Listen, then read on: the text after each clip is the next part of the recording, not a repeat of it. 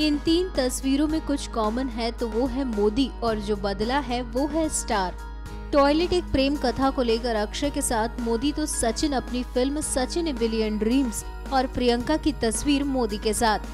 तीनों तस्वीरों को अगर देखें तो ये आपको आम लगे.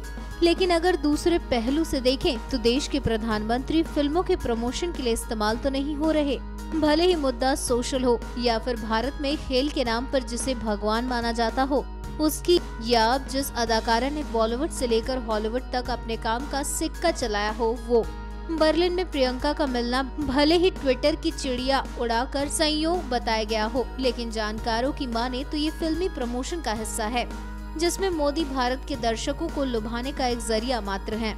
हॉलीवुड की जब भी कोई फ़िल्म रिलीज़ होती है तो उसके दर्शकों के केंद्र में भारत का बाज़ार होता है, और इस बाज़ार को लुभाने के लिए मोदी से बड़ा कोई ब्रांड नहीं है। ऐसे में बर्लिन में विश्व सुंदरी प्रियंका के मिलने को महज इत्तेफाक का नाम दे दिया जाए तो ये फिल्मी पटकथा के साथ शायद नाइंसाफी होगी। क्योंकि फिल्मी पटकथा अब सिर्फ़ वो नहीं होती, जिसे आप थिएटर्स में पॉपकॉर्न खाते हुए देखते हैं। बल्कि अब फिल्मी पटकथा फ़िल्म के रिलीज़ होने से पहले हर वो इत्तेफाक होती है, जिसके ज़रिए फ़िल्म का प्रमोशन किया जाता है। दरअसल मोदी किस से मिल रहे हैं, इसमें हर किसी की दिलचस्पी होती है। जब भी कोई स्टार मोदी से मिलता है तो उसकी फ़िल्म अपने आप ही चर्चा में आ जाती है। ऐसे में फ़िल्म स्टार्स के लिए मोदी फ़िल्म को प्रमोट करने का सबसे बेहतरीन ज़रिया बनते जा रहे हैं।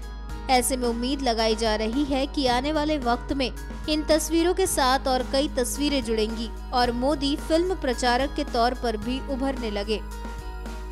एनएमएफ न्यूज़ की रिपोर्ट।